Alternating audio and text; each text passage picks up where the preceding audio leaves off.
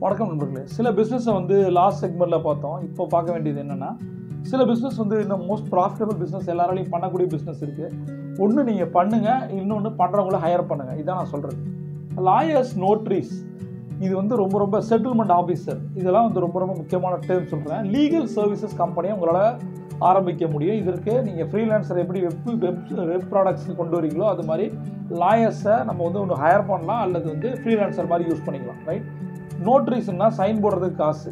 அடுத்தது இப்போ real estate வாங்குறீங்கன்னா அதில் வந்து ஏதாவது வில்லங்க இருக்கா அப்படின்னு பார்க்குறதுக்கான காசு. அதான் மெயின் பிஸ்னஸ் பார்த்தீங்கன்னா செட்டில்மெண்ட் செட்டில்மெண்ட்ன்றது என்னது?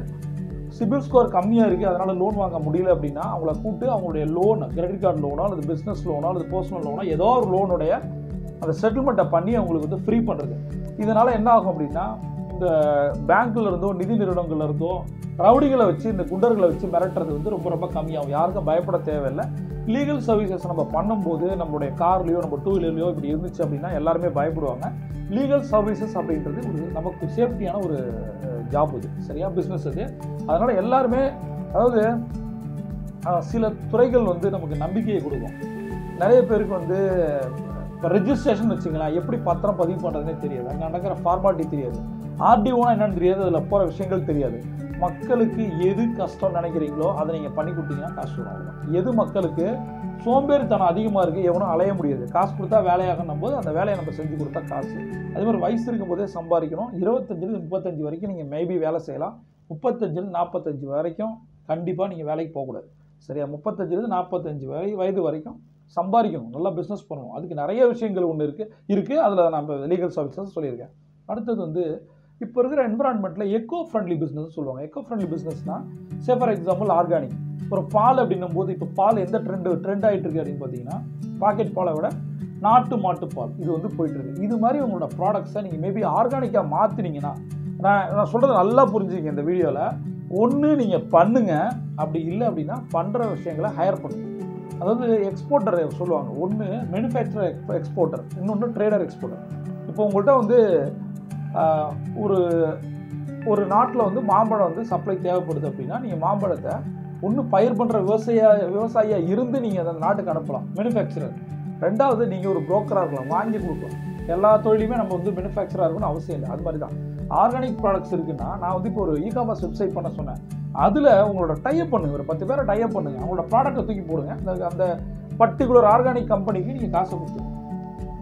கமிஷன் நீங்கள் எடுத்துங்க இப்போ ஜொமேட்டோ ஸ்விக்கி இப்போ எல்லாமே என்ன பண்ணுறாங்க ஒரு கமிஷன் தானே பண்ணுறாங்க ஃபுட் காஸ்ட்டோட அதிகமாக போடுறான். ஏன்னா ஃபுட்டு விற்காமே இருக்குது அது மாதிரி தான் இப்போ ஆர்கானிக் சோப் வேணும் ஒரு ஆர்கானிக் ஹேர் ஆயில் வேணும் ஷாம்பு வேணும் ஆர்கானிக் ஃபுட்டு வேணும் அப்படின்னா எங்கே போவோம்? அதை நீங்கள் பண்ணி கொடுக்கலாம். நீங்கள் முதல்ல வந்து செலவு பண்ணாமல் மேனுஃபேக்சர் இல்லாமல் ஒரு ட்ரேடரை ஸ்டார்ட் பண்ணுங்கள் அடுத்தது ஒரு இப்போ இங்கே இருக்க எல்லாருமே நான் என்ன சொல்லணும்னா எல்லாருமே சேவிங்ஸ் அக்கௌண்ட்னு ஒன்று இருக்கவே கூடாது உங்கள் லைஃப்பில் சரியா? எல்லாமே கரண்ட் அக்கௌண்ட் தான் இருக்கணும். சேவிங்ஸ் அக்கௌண்ட்டால் எந்த ஒரு யூஸும் கிடையாது. சேவிங்ஸ் அக்கௌண்ட்டில் அதிக டிரான்சாக்ஷன் பண்ணால் பின்னாடி பிரச்சனை வரும். யார் வேணால் நீங்கள் பிஸ்னஸ் ஆரம்பிக்கலாம். இப்போ நீங்கள் நான் ஏற்கனவே சொல்லியிருந்தேன். இப்போ லக்ஷ்மி அப்படின்னா லக்ஷ்மி ஒரு ஹவுஸ் ஒய்ஃபாக இருந்தாலும் கூட நேற்றே நான் சொல்லியிருக்கேன் ஹவுஸ் ஒய்ஃப்னு ஒரு வேர்டே கிடையாது. யாருமே எதுவும் இந்த தொழிலும் பண்ணாமல் இருக்கக்கூடாது. குறிப்பாக அந்த ட்ரைனிங் வந்தவங்க. லக்ஷ்மி என்பது லக்ஷ்மி அசோசியேட் என்டர்பிரைசஸ் இது மாதிரி ஏதாவது ஒரு பேர் போட்டு நீங்கள் ஒரு எம்எஸ்எம்இ சர்டிஃபிகேட் உத்தியோக ஆதாரம்னு சொல்லுவாங்க. அது ஃப்ரீ தான். இல்லை நீங்கள் இப்போ ப்ரொசீஸ் சென்டரில் போய் கேட்டிங்கன்னா அவங்க பண்ணி கொடுப்பாங்க. இரநூத்தம்பதுலேருந்து ஐநூறுரூவா சார்ஜ் பண்ணுறாங்க அவங்க வீட்டு அட்ரஸை போட்டு ஒரு கம்பெனியை ஸ்டார்ட் பண்ணிடலாம். ஐ கோடு இம்போர்ட் எக்ஸ்போர்ட் கோடு எடுத்தீங்கன்னா ஐநூறுரூவா தான் இம்போர்ட் எக்ஸ்போர்ட்டே நீங்கள் பண்ண முடியும். இது ரொம்ப ரொம்ப சாதாரணமாக சொல்கிறேன்னு நினைக்காதீங்க. உங்களோட ஃப்ரெண்ட்ஸ் ரிலேட்டிவ்ஸ் ஃபாரினில் எங்கே இருக்காங்களோ அவங்கள்ட்ட கேளுங்க. அங்கே என்ன தேவை இருக்குது நான் வாங்கி அனுப்புகிறேன்னு சொல்லுங்கள் அவங்களுக்கு என்ன தேவை இருக்கோ இங்கே சர்ச் பண்ணுங்கள் நிறைய இருக்குது சரியா? இந்தியா மார்ட் மாதிரி கம்பெனிஸ் நிறைய இருக்குது அதில் போய் உங்கள் ப்ராடக்ட்டை சர்ச் பண்ணுங்கள் நாலு ஹோல்சேல் பீப்புள்கிட்ட பேசுங்க. அவங்க அந்த ஃபாரினில் இருக்க நண்பர் சொன்ன ப்ராடக்ட்டை வாங்கி அனுப்புங்க. லாபத்தை ரொம்ப கம்மியாக வைங்க இனிஷியலாக அது பண்ணாலே எல்லாரும் இம்போர்ட் இம்போர்ட்டர் எக்ஸ்போர்ட்டர் ஆக முடியும். அதே மாதிரி மார்க்கெட்டில் இங்கே என்ன பொருள் வந்து அதிக விலை விற்குதுன்னு பாருங்கள் அதை ஃபாரினில் இருக்கவங்கள்ட்ட சொல்லுங்கள் அங்கே கம்மியாக என்னன்னு கேளுங்க.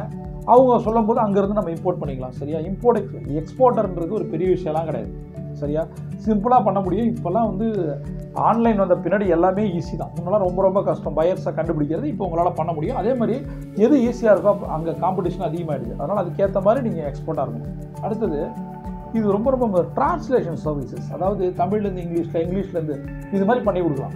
இது வந்து நிறைய பேர் கிடைக்கிறதே கிடையாது. நீங்கள் வந்து டிரான்ஸ்லேட்டர் ரொம்ப ரொம்ப முக்கியம். உங்களுக்கு என்ன லாங்குவேஜ் நல்லா வருது அதை நீங்கள் ப்ரொமோட் பண்ணுங்கள் உங்களோட சோஷியல் மீடியாவில் உங்களை உங்களுடைய ஸ்கில்ஸை போடுங்க. உங்களோட த திறமைகளை போடுங்க. அந்த மாதிரி பண்ணித்தரேன் காப்பி ரைட்டிங் பண்ணுறது கண்டென்ட் ரைட்டராக மாறலாம். கண்டென்ட் ரைட்டர்ன்றது ஒரு கட்டுரை எழுதி கொடுக்குறது. டாப்பிக்கு கட்டுரை எழுதி கொடுக்குறது இல்லை கட்டுரையை மாற்றி அலைன் பண்ணி கொடுக்குறது. ஒரு ஸ்கிரிப்ட் ரைட்டர் இருந்தாருன்னா அதை சரி பண்ணி கொடுக்குறது. இப்போ நான் பேசுகிறேன் என்னோட புத்தகமாக போடுறேன் அப்படின்னா அந்த புத்தகத்தில் நான் பேசுகிற வார்த்தைகள் வந்து சரியாக வரல அப்படின்னா அதை கரெக்ட் பண்ணி கொடுப்பாங்க. அதான் கண்டென்ட் அது வந்து கண்டென்ட்டை வந்து சரி பண்ணுறவங்க எடிட்டர்னு சொல்கிறாங்க இல்லையா அந்த மாதிரி. இந்த மாதிரி மொழியாளுமை யாருக்கு இருக்கோ அவங்க பண்ண முடியும். சரியா? நிறைய பண்ணலாம். ஆன்லைன் டியூட்டர் ஜாப்லாம் நிறைய இருக்குது உங்களுக்கு எது நல்லா தெரியுமோ அதை நீங்கள் வந்து ஜூம்லேயே சொல்லித் தரலாம். வீட்டில் உட்காந்து டைம் வேஸ்ட் பண்ணாதீங்க. எனக்கு பிஸ்னஸே தெரியல அப்படின்னா சொல்லவே சொல்லாதீங்க. ஏன்? லட்சம் கோடி பிஸ்னஸ் இருக்குது சம்பாதிக்கிறோம் செஞ்சுட்டு தான் இருக்கான். அப்புறம் ப்ராப்பர்ட்டி மேனேஜ்மெண்ட் இப்போ ஃபாரினில் வந்து நிறைய பேர் இருக்காங்க என்ஆர்ஐஸ் இருக்காங்க. அவங்களுடைய ப்ராப்பர்ட்டி இங்கே இருக்குது அதை மேனேஜ் பண்ணணும். அது வந்து காலி ஆகிடுச்சு அந்த டேலண்ட் போயிட்டாங்கன்னா அப்படின்னா வேற ஒரு டேலண்ட்டை கொண்டு வந்து விடணும். இந்த மாதிரி விஷயங்கள். ரெண்டாவது அந்த ஒரு அப்பார்ட்மெண்ட்டையோ ஃப்ளாட்டையோ நம்ம வந்து மெயின்டெனன்ஸ் பண்ணி கொடுக்குறது. நாளைக்கு அது க எல்லாமே இப்போ ப்ராப்பராக கரண்ட் பில் கட்டுறதுலேருந்து தண்ணி சரியாக வருதான் பைப்புலேருந்து ப்ளம்பிங்லேருந்து எலக்ட்ரிக்கல் ஒர்க்லேருந்து எல்லாமே பார்த்து கொடுக்குறது இதுக்கான ஒரு காஸ்ட் நம்ம பண்ணிக்கலாம். அது மட்டும் இல்லாமல் அதோட சேர்த்து ரெண்டல் அண்ட் லீசிங் கம்பெனியாக மாற்றலாம் கண்டிப்பாக உங்களுடைய பிஸ்னஸ் போர்ட்ஃபோலியோவில் ரியல் எஸ்டேட் இருக்கணும். சரியா? ரியல் எஸ்டேட் இல்லாமல் பிஸ்னஸ் பண்ணவே கூடாது. ரியல் எஸ்டேட்டுக்கு பணமே தேவையில்ல. ரியல் எஸ்டேட் ப்ரோக்கிங் ஒரு நல்ல பிஸ்னஸ்ஸு எல்லா பிஸ்னஸ்லையும் ஃபெயிலியர் சக்ஸஸ் இருக்கும். சரியா? இப்போ எல்லாமே ஆன்லைனில் வந்துருச்சு.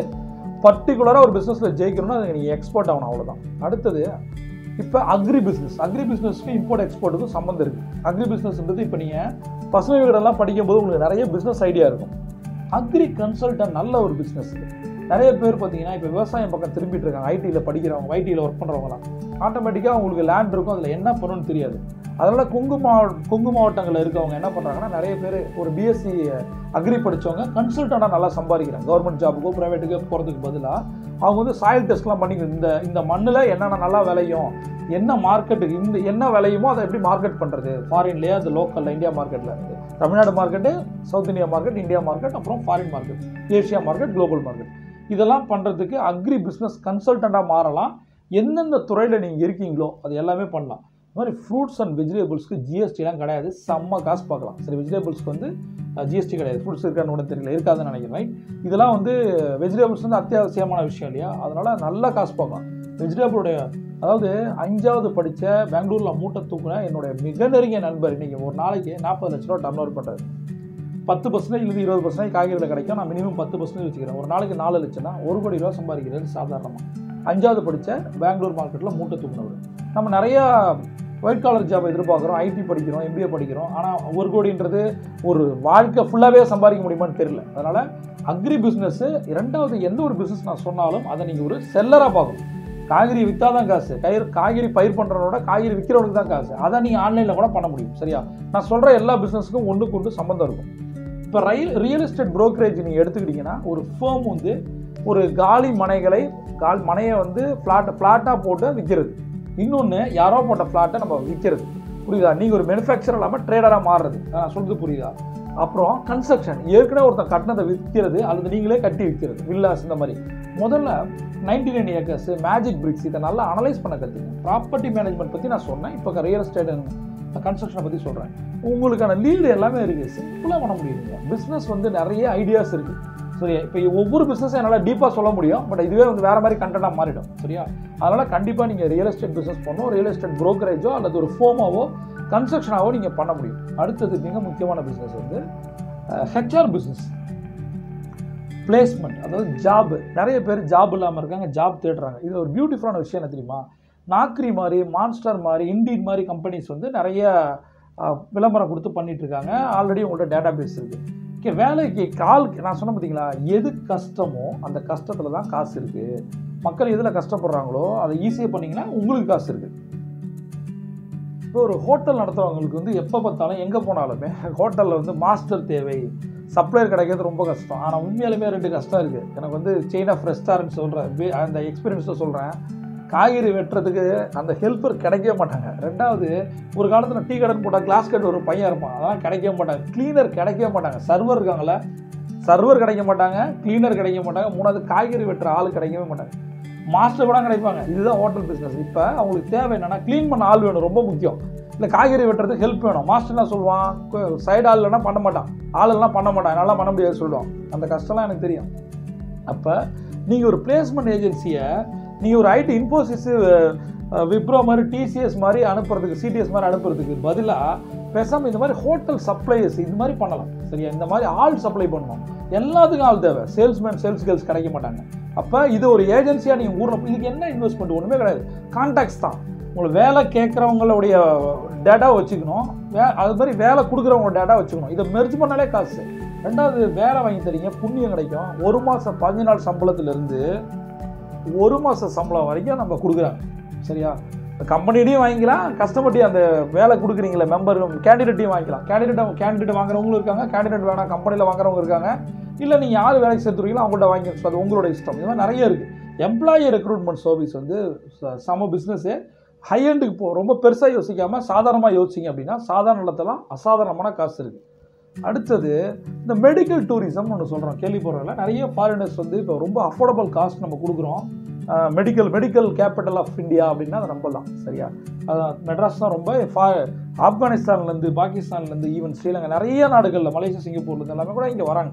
இங்கே நிறைய அது மெயினாக குழந்தை இல்லாத தம்பதிகள் வந்து குழந்தை தான் செல்வம் அதுக்காக நிறையா செலவு பண்ணுவாங்க. ஒன்று மெடிக்கல் டூரிசமும் ஆச்சு. அவங்களுக்கான சொல்யூஷனை கொடுக்கலாம். நீங்கள் என்ன பண்ணலாம்? சில ஹாஸ்பிட்டல்ஸாக டைப் பண்ணி வச்சுக்கணும். இப்போ ஜிஜி அப்படின்னு வச்சிங்கன்னா அவங்க தான் நம்பர் ஒன் தமிழ்நாட்டில் அப்படின்னா என்ன ஏஆர்சி இருக்குது ஒவ்வொரு க ஒவ்வொரு ஹாஸ்பிட்டலாக போய் பாருங்கள் சரியா? டைப் பண்ணுங்கள் மெடிக்கல் டூரிஸ்ட்டுக்கு இந்த மூணு டைப் பண்ணுங்கள் இந்த மாதிரி ஒரு கஸ்டமர் என் மூலம் வந்தால் எவ்வளோ காசுன்னு பேசிங்க எல்லாமே அப்படி தானே எஜுகேஷன் அப்படி தானே எல்லாமே புரோக்கிங்கில் தானே ஓடுது. ஏன்னா கல்வியாக ஓடுது. கல்வி கடவுளாக எல்லாரும். காசு தான் பிஸ்னஸ் எல்லாமே பிஸ்னஸ் தான். புரியுது? இந்த உலகத்தில் எல்லாமே பிஸ்னஸ் தான். எப்படி ஒரு இன்ஜினியரிங் காலேஜ் மெடிக்கல் காலேஜில் சீட்டை விற்கிறோம் அந்த ஸ்டூடெண்ட்டே எப்படி மாற்றுவாங்க பாருங்க. சரி இத்தனை சீட்டு பிடிச்சி கொடுத்தா இவ்வளோ காசுன்னு சொல்லிட்டு அது நல்லா காசு சம்பாதிக்கிற ஸ்டூடெண்ட் இருக்கான். அதில் ஒரு பையன் ஃபஸ்ட் இயர் ஜாயின் பண்ணி செகண்ட் இயர் இந்த மாதிரி ஆப்ஷன் எடுத்து ரெண்டு வருஷம் படிக்கவே இல்லை. அவங்க அந்த காலேஜ் முன்னாடியே வந்து கடையை போட்டு உட்காந்து அவன் லட்சக்கணக்கில் சம்பாரிச்சு இருபத்தோரு வயசில் ஹோண்டா சிட்டி வாங்கிட்டான் அந்த பையன். கள்ளக்குறிச்சி பக்கத்தில் சின்ன சேலன்ற ஊர்லேருந்து வந்த பையன். இன்ஜினியரிங் இவனை போய் சேர்த்து விட்டா இவன் நார்த் இந்தியாவிலேருந்து வர பசங்களை பிடிச்சி போய் கொடுத்து இன்னைக்கு யோசிச்சு பாருங்க இருபத்தோரு வயசில் நீங்கள் வந்து ஒரு ஹோண்டா சிட்டி வாங்க முடியுமா? அதுதான் நான் புத்திசாலித்தனம். அந்த மாதிரி நீங்கள் வந்து இந்த ஹெல்த் கேர் இண்டஸ்ட்ரியிலையும் உங்களால் பண்ண முடியும். மெடிக்கல் டூரிசம் அதுக்கு சிம்பிள் நான் ஹாஸ்பிட்டல் போங்க டைப் பண்ணுங்க. மெயினாக ஃபாரினில் எப்படி ஆடு கொடுக்கணும் விளம்பரம் கொடுக்கணும் எப்படி அவங்கள வர வைக்கணும் அப்படின்னு தெரியணும். நீங்கள் டைப் பண்ணிட்டீங்க ஆட்டோமேட்டிக்காக ஹாஸ்பிட்டல்ஸோட அவங்க வரும்போது அவங்கள ரிசீவ் பண்ணி கொண்டு போய் ஹாஸ்பிட்டலில் விட்டு கூட்டி போய் எல்லா இடத்தையும் காட்டி மேபி ஹாஸ்பிட்டலில் எவ்வளோ நாள் தங்குறாங்க வெளியில் வந்து ஏதோ அப்பார்ட்மெண்ட் எடுத்து கொடுக்க முடியுமா தங்குறதுக்கு? இந்த மாதிரி விஷயங்கள்லாம் பார்க்கணும். ஃபாரினர்ஸை பொறுத்த வரைக்கும் ஒரு விஷயம் புரிஞ்சுங்க. நான் வந்து என்னோட முதல் பிஸ்னஸ் வந்து நான் நிறுவனத்தில் வேலை செய்யும் போது ஒரு ட்ராவல்ஸ் ஆரம்பித்தேன். ஒரு நாள் நைட்டு வெள்ளிக்கிழமை நைட்டு ஒரு லண்டன்லேருந்து ஒரு க ஒரு கஸ்டமர் வராரு. அவரோட நான் பர்சனல் டச்சில் இருக்கேன். ரெண்டு நைட் ரெண்டு மணிக்கு ஃப்ளைட் இறங்குது. லண்டன் ஃப்ளைட்டு இறங்குது. கடைசியில் கா டிரைவர் கால் பண்ணால் எடுக்கவே இல்லை. அதுக்கப்புறம் நானே கிளம்பி ஏர்போர்ட்டில் போய் நான் பிக் பண்ணுறேன் லைஃப்பில் நான் வந்து ஒரு லெவலில் ஒரு ஒரு லட்ச ரூபாய்க்கு மேலே சம்பளம் வாங்கிட்டு இருக்கேன். அந்த கிளைண்ட்டு ஒய்ஃபு அவங்க ரெண்டு குழந்தைங்க வராங்க. வந்தோடனே ஒரு ட்ராலி வைக்கிறாரு. என் வாழ்க்கையில் என் ட்ராலி எல்லாரும் தான் தூக்கி பழக்கம். ஃபஸ்ட் டைம் வந்து அவரோட ட்ராலி நான் தான் டிரைவர் தானே அவருக்கு தெரியாது. அப்போ நான் வந்து ட்ராலியில் எடுத்து வச்சுட்டேன். நம்ம வந்து ஜிஆர்டி போயிட்டோம். போயிட்டு அங்கே இறங்கும் போது அவங்களுடைய ட்ராலியை நான் வந்து அந்த ஃப்ளோருக்கு கூட்டிகிட்டு போய் வைக்கிறேன். வச்சவனே அவர் என்ன பண்ணார்? சூப்பர் அவங்க பேர் என்னன்னு கேட்டார். விஜய்னு சொன்னோன்னே டக்குன்னு ஒரு ஐநூறு எடுத்து கொடுத்தாரு டிப்ஸ் எனக்கு என்ன பண்ணுறதுன்னு தெரில வாங்குறதா வேணாமான்னு தெரில அவர் சொன்னார் சரி நீ ஒரு டூ ஹவர்ஸ் ரெஸ்ட் எடுத்து திரும்பி வந்துருங்க நம்ம அஞ்சு மணிக்கு கோயிலுக்கு கிளம்புவோம். இங்கேருந்து மேல்மருவத்தூர் போகணும். அப்படின்னு சொன்னார்.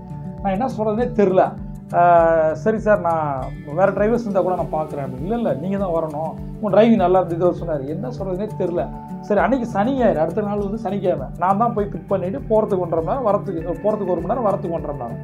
அப்போ வந்து என்ன ஆச்சு வரும்போது ஒரு காஃபி ஷாப்பில் நிறுத்துறோம் அவர் என்கிட்ட பேசினார். நீங்கள் எப்போ இந்த ட்ராவல்ஸ் ஆரம்பிச்சிங்க? அப்படின்னு சொன்னேன். நான் மேலே சொன்னேன் சார் நான் வந்து ஓனர் நான் இன்னொரு இடத்துல ஒர்க் பண்ணிகிட்டு இருக்கேன் அப்படின்னு சொன்னேன்.